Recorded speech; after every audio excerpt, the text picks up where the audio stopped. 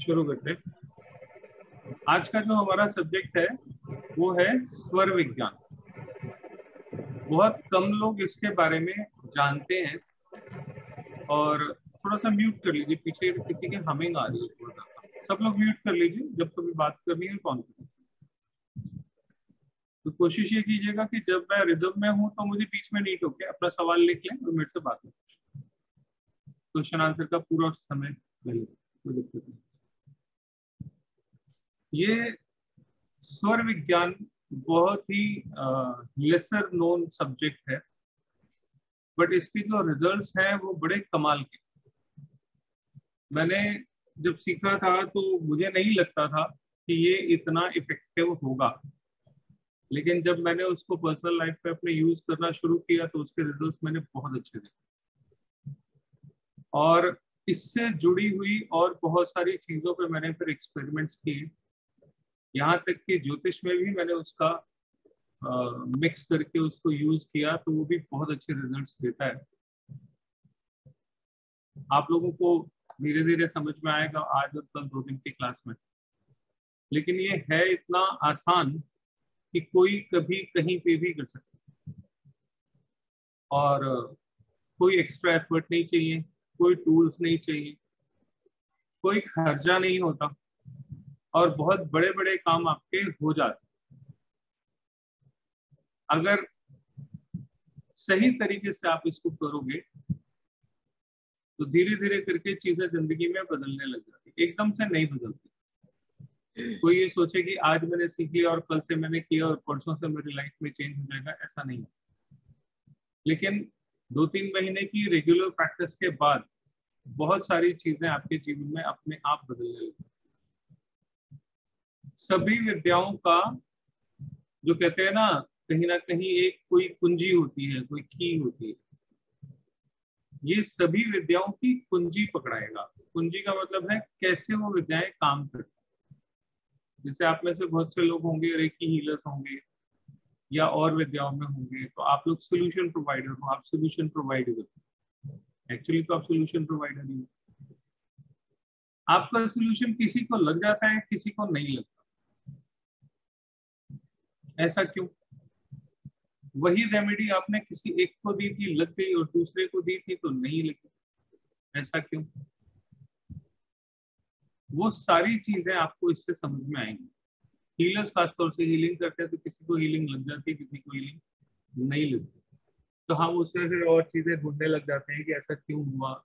ये हो गया, वो हो गया। वो सारी चीज़ें अपनी जगह पे ठीक है, गलत नहीं लेकिन फिर भी कुछ पॉइंट्स ऐसे होते हैं जो आपको समझने पड़े। इसका जो स्वर विज्ञान का जो एक्चुअल में नाम है, वो शिव स्वरोदय है।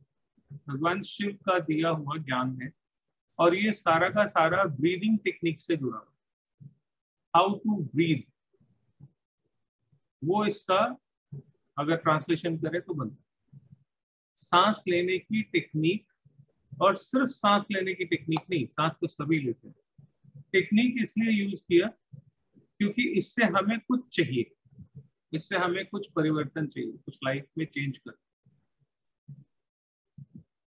तो भगवान शिव जो है, माँ पार्वती को ये ज्ञान दे रहे हैं और ये एक शास्त्र है शिव सूर्योदय और मैंने जब इसको प्रैक्टिकली करके देखा तो मैंने ये देखा कि ये शायद इससे आसान आपके जीवन में कुछ नहीं जिसमें आपको एक्चुअली में सिर्फ़ बस इतना ही करना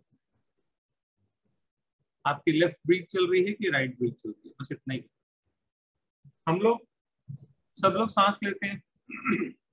भगवान ने हमारे नाक में दो छेद दिए सांस हम एक टाइम में एक ही से लेते हैं। आप लोग अपने अपने स्वर चेक करो। आपका कौन सा स्वर चल रहा है? आप देखोगे एक एम्प्टी होगा और एक चल रहा होगा।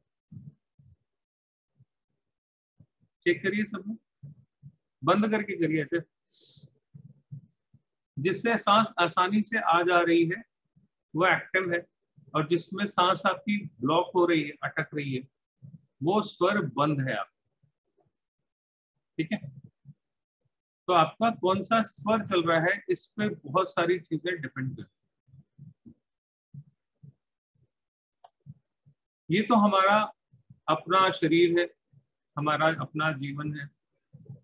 इसमें स्वर का जो महत्व है, वो रिलेट करता है हमारे अपने शरीर और हमारे जीवन के साथ। लेकिन क्या हमारा शरीर और हमारा जीवन इस यूनिवर्स के सिस्टम से अलग जा सकता है? नहीं जा सकता ना। संसार का जो सृष्टि का नियम है, हम उसी नियम को ही फॉलो कर सकते हैं। एक कहावत है, श्लोक, यथ ब्रह्मांडे तथ पिंडे।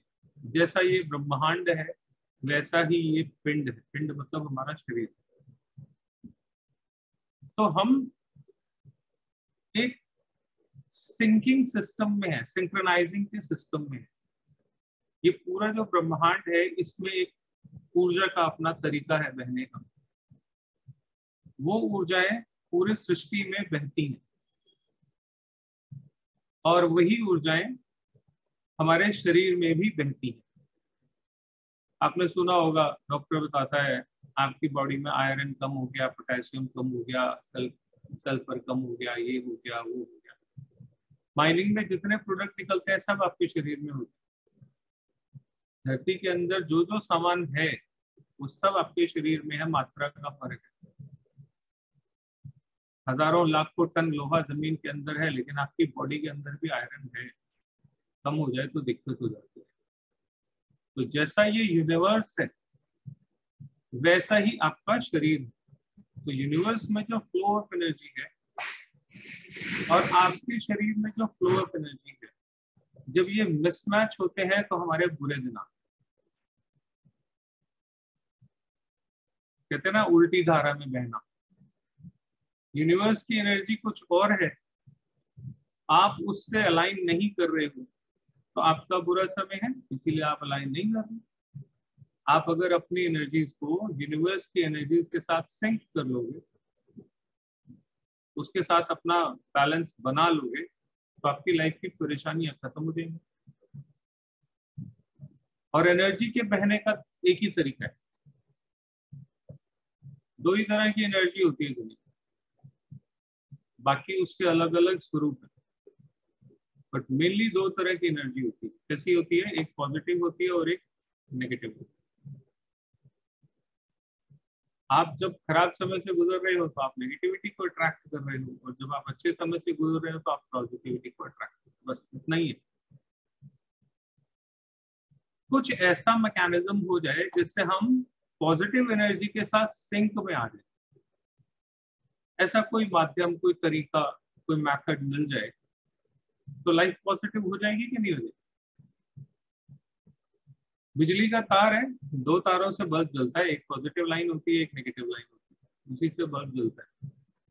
हमारा बल्ब कम वोल्टेज में जल रहा है फुल वोल्टेज में जल रहा है, बुझ रहा है या शॉर्ट सर्किट हो रही है, ये सारा भी उन्हीं दो तारों पे डिपेंड करेगा। वो दो तारे कौन सी हैं? दो तरह की एनर्जी देखिए में हम लोग पढ़ते हैं एक पॉजिटिव एक नेगेटिव यहाँ पे हम जो पढ़ेंगे वो है एक ठंडी और एक गर्म। बस इतना ही आपकी बॉडी का टेम्परेचर होता है 96, 97, 98 के बीच है ना? एवरेज होता है कांस्टेंट नहीं है ये एवरेज किसी का 96 भी होता है किसी का 98 भी होता है। ज़्यादा हो जाता है तो हम क्या कहते हैं? बुखार हो गया। तो ये जो बॉडी का टेम्परेचर है, ये बैलेंस कैसे रहता है? मान लीजिए 97.3 है किसी का। तो ये 97.3 के आसपास मैनेज कैसे होता है? बढ़ क्यों जाता है? घट क्यों जाता है? जब भी कभी बीमार पड़ते हैं नॉर्मली हमारा टेम्परेचर मेंटेन रहता है ना बॉडी का। और डेथ के बाद क्या होता है? कोई मैनेजमेंट नहीं काम करती, सब खत्म। तो ये जो टेम्परेचर मैनेज होता है, ये हमारी ब्रीथ से कंट्रोल होता है। हमारी जो राइट साइड की ब्रीदिंग है, वो बॉडी में हीट जनरेट करती है। जिसको हम बोलते हैं सूर्य नाड़ी। और जो लेफ़्ट साइड की ब्रीज होती है लेफ़्ट साइड की जो नॉस्ट्रल होती है, उससे जब हम सांस लेते हैं तो वह हमारे शरीर में ठंडक पहुंचाती है। और ये दोनों चेंज होती रहती है। आपका लेफ़्ट नॉस्ट्रल राइट नॉस्ट्रल सारा दिन एक जैसा नहीं चलेगा, ये बदलते रहते हैं। कभी लेफ़्ट चलती है, कभी राइट चलती है। इनका आइडियल टाइम जो है, ऐसा माना गया, कोई बोलता है कि 55 मिनट है, कोई बोलता है 60 मिनट है, कोई बोलता है एक घंटा 20 मिनट है। आप एवरेज एवरेज एक घंटा लेके चलो हर एक घंटे में हमारा स्वर बदल जाता है। अभी आपकी जो भी नॉस्टल चल रही है, वो एक घंटे बाद बदल जानी चाहिए आइडियल